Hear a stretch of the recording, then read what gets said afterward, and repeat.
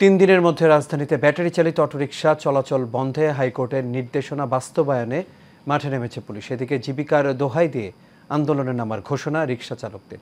শেখ সোহাগের প্রতিবেদন আর ক্যামেরায় ছিলেন সাপির রহমান।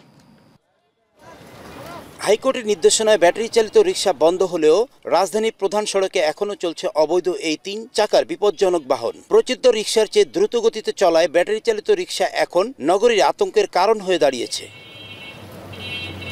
নগরীতে চলছে আট লাখ অবৈধ অটোরিকশা। তবে আয় উপার্জনের পথ বন্ধ হয়ে গেলে আন্দোলনের বিকল্প দেখছেন না অটোরিকশা চালকরা। এই অটো দিয়া আমার ফ্যামিলি চলে।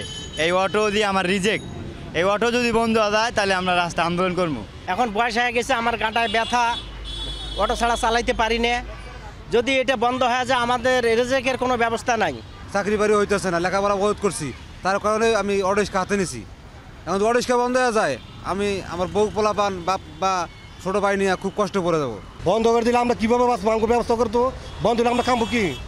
সরকার একটা ব্যবস্থা করে দেখ বিভিন্ন সময় অভিযান চালিয়ে বন্ধ করা যায়নি। হাইকোর্টের নির্দেশনায় কঠোর অবস্থানে যাচ্ছেন বলে জানান ট্রাফিক বিভাগের এই কর্মকর্তা। তো মহামান্য হাইকোর্টের যে নির্দেশনা রয়েছে সেই আলোকে আমরা মহাসড়কে বা ঢাকা আমাদের যে গুলশান ট্রাফিক ডিভিশনের এরিয়া রয়েছে সেই এলাকাগুলোতে যেন সড়কে কোনো ব্যাটারি চালিত রিক্সা না চলতে পারে সেই বিষয়ে আমরা কার্যকর ব্যবস্থা গ্রহণ করছি।